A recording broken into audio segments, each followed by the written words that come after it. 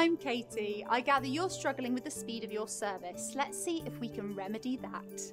Naturally, everyone wants the best ultra fast broadband, such as Voom Fibre. Speed test websites are one way to check your connection, but lots of these sites use international servers, which can slow down your speed. Running the site using a server based in Australia is going to give a very different reading to one in London.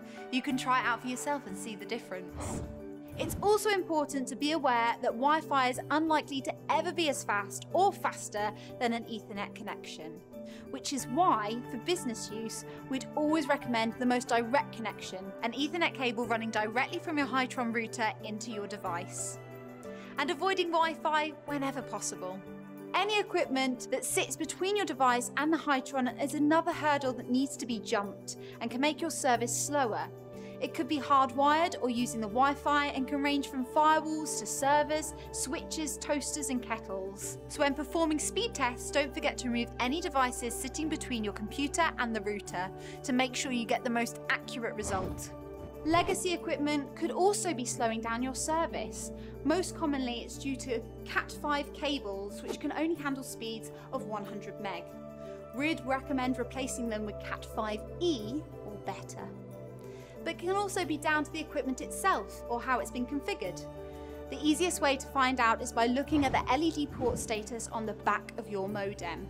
If it's green, either the cable itself or the equipment on the other end of the cable can only handle up to 100 megabytes, so might need updating or reconfiguring. If it's orange, it's good for up to a gig, which is ideal. Interference is the most common cause of slow speeds, whether it's too many applications running on a single computer, or a faulty switch between the user and the Hitron.